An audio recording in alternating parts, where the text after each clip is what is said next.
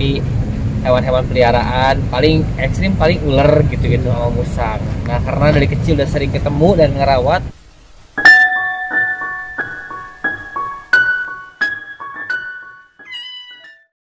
Ada di Iya, jadi sejak kecil emang udah banyak satwa di rumah karena orang tua dan kakak juga suka sama satwa binatang.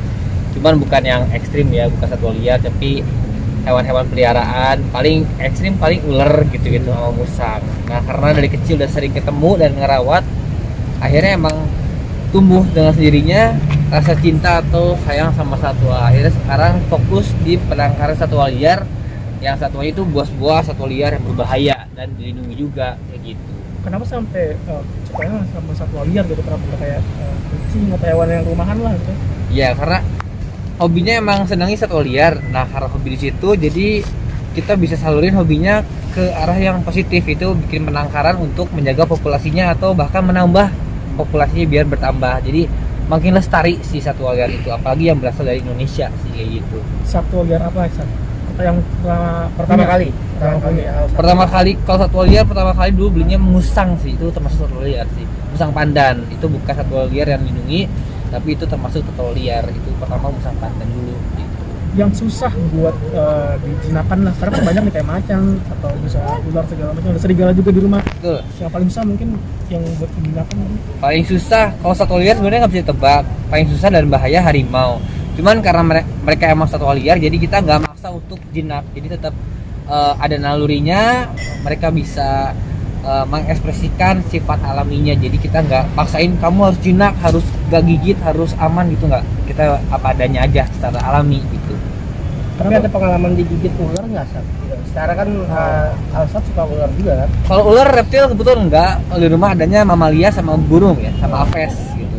Kalau sama mamalia, harimau ya sering digigit pas kecil. Burung dipatok juga sering. Dicakar udah makanan sehari-hari sih, udah udah, udah menjadi apa ya? bagian dari, dari merawat satwa liar sih.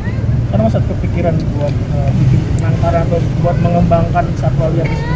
Nah, karena Indonesia ini kita mempunyai banyak banget keanekaragaman hayati yang kaya banget itu. Jadi, kenapa nggak kita bantu aja Indonesia untuk melestarikan satuannya sedangkan banyak orang di luar sana yang kurang teredukasi yaitu berburu secara ilegal, membunuh, memelihara satwa satwa liar secara ilegal menjadi eh, di alamnya berkurang bahkan ada yang punah gitu. Nah, sekarang le- lewat eh, YouTube atau media lain kita ngasih tahu beginilah caranya merawat satwa liar udah dimulai perolehannya, cara merawatnya, kandangnya dan lain-lain. Jadi orang-orang tahu oh satwa liar itu bisa pelihara asal izinnya ditempuh dengan baik dan benar gitu. berarti hewan satwa liar yang lu pelihara ada izinnya Sat?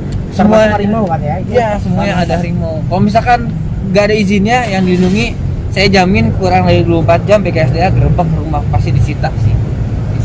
Berapa banyak uang yang dikeluarkan buat pakan ya Iya, kalau untuk pakan relatif ya karena kan mereka makanya daging. Kita tergantung daerah di mana. Kalau misalkan di Bandung mungkin daging lebih murah dibanding Jakarta. Cuman kalau untuk sekarang nih biaya untuk pemeliharaan mereka sebulan menghabiskan 45 sampai 50 juta rupiah. Sekarang kan juga Betul. lu tinggal di Bandung apa di villa sama kan secara kan suka serigala kan harus pakai udara yang sejuk gitu Betul. Jadi serigala dari mulai pertama kali mengadopsi yang rencananya taruh di villa di Lembang. Cuman karena masih anakan, masih butuh perhatian manusia, jadi taruh di rumah dulu. Kita ajak main, kita kasih perhatian, kasih sayang. Kalau dewasa udah mulai cuek nih, taruh di Lembang di villa. Karena dia suhunya emang benar harus dingin gitu. sampai sedikit Enggak sih, enggak cuma pernah segala macam masalah uh, kebun binatang atau kenapa nggak um, mem- apa penangkaran di tempat yang liar eh, uh, alam liar lah kenapa nggak tetap di kandang dan rumah segala macam Ya, jadi eh, konservasi itu dibagi menjadi dua, ex situ dan in situ. Ex situ itu yang di luar habitatnya, in situ itu yang di dalam habitatnya. Jadi kita udah eh, ada orang-orang yang fokus di situ di habitatnya kan, ada juga yang di situ di luar habitatnya seperti penangkaran dan kebun binatang. Nah, untuk untuk kasus kebun binatang yang rawat yang nggak benar, harimau yang kurus, mati itu sebenarnya oknum oknum kebun binatang yang merawatnya kurang baik. Sebetulnya standar kebun binatang itu tinggi, sangat sulit. Jadi untuk memenuhi kebutuhannya itu tidak gampang. Cuman ada kebun binatang aja yang nakal, yang ngasih makan dikurangin, perawatannya kurang, dokternya mungkin nggak ada sampai bisa mati atau kur- kurus gitu. tanggapan lo sendiri saat oknum-oknum nakal itu melakukan hal itu gimana? Nah itu langsung ditindak oleh Gakum LHK ya atau penegakan hukum. Jadi pasti langsung ditindaklanjuti seperti yang kemarin itu lumba-lumba ya di Bali itu kan. Di sini udah nggak ada segala rupa tapi masih beroperasi kelihatan langsung digembek nah secepat itu pemerintah untuk menindaklanjuti uh, kegiatan ilegal. Kayak gitu sih. Jat, handphone Jat. Kebun ya jangka panjang doain uh, kebun binatang karena lembaga konservasi itu jauh lebih bermanfaat dibanding penangkaran. Kalau penangkaran skala kecil lah kita masih trial and error dulu riset development pelan-pelan bisa nggak nih rafatolier dengan baik? Kalau bisa langsung skala besar itu kebun binatang gitu. Nggak merasa rugi satu pengeluaran tabung sampai 50 juta tiap bulan kan rugi banget. Ya rugi banget sebenarnya karena hobi dan emang eh, apa ya udah cinta banget sama satwa liar ya udah jadi ya udahlah keluar duit yang penting kita bisa melestarikan mereka interaksi setiap, setiap hari juga itu puas untuk dia sendirinya gitu. Jadi ya udah termasuk hobi juga kan gitu. Ini kan mengembangkan dan melestarikan apa namanya misalnya kalau udah banyak bakal juga Ya betul. Kamera untuk satwa liar dilindungi yang Indonesia 10% hasil penangkaran dilepas dilarang kembali ke alam. Jadi kalau misalkan ada merak hijau nih, merak hijau itu merak Jawa dilindungi beranak 10 yang satu ekornya dikasih pemerintah untuk dilepaskan liar kembali ke alamnya gitu di store. Jadi kita yang di X itu itu penangkaran atau lembaga konservasi yang di luar habitatnya supaya terus populasinya ke alam biar terus bertambah di alamnya gitu. di rumah sendiri yang uh, hewan liar langka ada apa aja yang dilindungi ada merak Jawa, ada binturong, ada kakak tua.